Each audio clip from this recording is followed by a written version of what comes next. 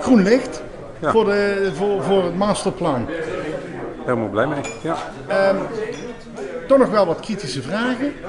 ja, maar dat moet ook. Hè. Het is natuurlijk een, een, een heel groot project waar ongelooflijk veel gaat gebeuren. Waar heel veel op het spel staat. En het gaat natuurlijk ook over heel veel geld. Dus het is goed dat daar kritisch naar gekeken wordt. Door omwonenden, burgers en de raad. Ja, voor mij is het gewoon heel erg belangrijk dat wij gaan investeren in onze gemeenschap. Eh, en dat wij ervoor gaan zorgen dat de leefbaarheid in, onze, in al onze dorpen op de lange termijn gewaarborgd kan eh, blijven. En eh, ja, de opbrengsten die de gemeente kan gaan krijgen uit het energielandgoed Waalsmeer, dat is toch al gauw zo'n eh, 1 à 2 miljoen euro per jaar. Die willen we daarvoor gaan inzetten. En dat was voor de CDA-fractie echt de hoofdreden om vanavond in te stemmen met het, met het masterplan. Langzamerhand begint het concreet te worden en ja, de laatste hobbel eh, in de voorbereiding is eh, genomen, om het zo maar te zeggen. Is er ook nog een kritische noot? Eh, ja, we hebben vandaag van omwonenden gehoord dat er eigenlijk niet genoeg eh, naar hun geluisterd is. En dat is iets wat toch wel een beetje een kritisch noot is, want dat is wel belangrijk, ook voor de VVD, om te zorgen dat het eh, goed ingebed wordt eh, in de gemeenschap. Nou, Kern heeft tegengestemd, heel uitdrukkelijk. Hè. De, de argumenten zijn duidelijk. Eh, Ke- Kern is heel teleurgesteld hoe de burgers geraadpleegd zijn inge- en meegenomen zijn in eh, fase 3 en eigenlijk in het hele project. Nou, teleurgesteld niet dat het plan doorging, Chris, dat wisten we wel natuurlijk. Maar dat het plan in deze vorm doorgaat, dat is natuurlijk heel frustrerend voor ons. Dat is, dat is niet normaal. Deze Muppet Show, dat is, dit, dit, dit is verschrikkelijk. Omdat ik eh, vind dat mijn eh, belangen daar eh, op de een of andere manier behartigd moeten worden. Ik weet wel dat ik, zeg maar, we zitten daar met een minderheid, we zijn met relatief weinig mensen.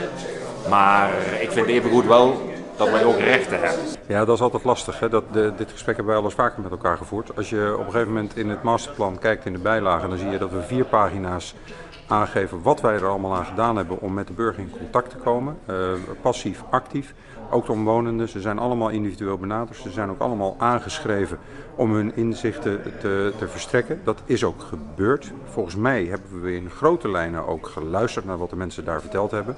Wat je tegelijkertijd ziet, en dat is, dat is zo als je er woont en je wordt er direct door geraakt, ja, dan vind je er natuurlijk wel wat van. En dan is het ook je goed recht dat je op zo'n avond als vanavond daarover komt inspreken.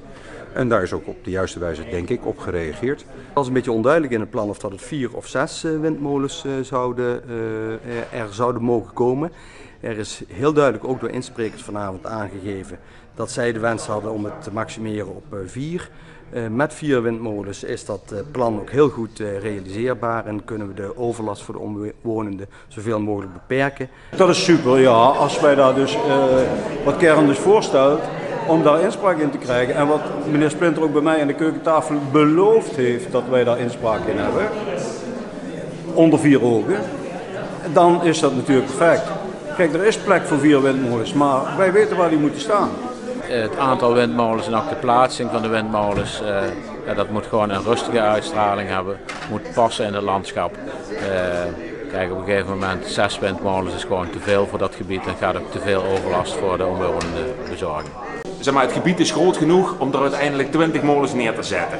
Dan kan ik me niet voorstellen dat je het niet eens kunt worden over vier plaatsen waar die dingen komen te staan. In principe een logisch besluit, alhoewel het voor de VVD ook eh, had, zes had kunnen zijn. Met, natuurlijk met tien verstanden dat het eh, geen problemen oplevert voor de omwonenden.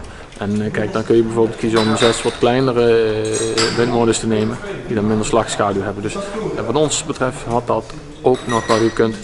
U gaf al aan eh, dat u bang bent dat het wel eens meer een eh, industriegebied wordt. Hè?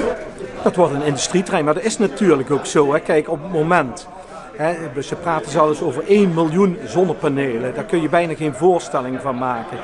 1 miljoen van die glasplaten. Nou, daar kun je dus echt niet meer spreken over een recreatiegebied. Daar ga je met je kinderen op een zondag niet voor de lol doorheen fietsen. Of op je de oude dag van, goh, laat ik daar eens gaan kijken. Nou, het is een opgepimpt industrietrein met innovatie, educatie, recreatie en informatie. Nou ja, dat moet het aantrekkelijk gaan maken. Kern gelooft hier niet in.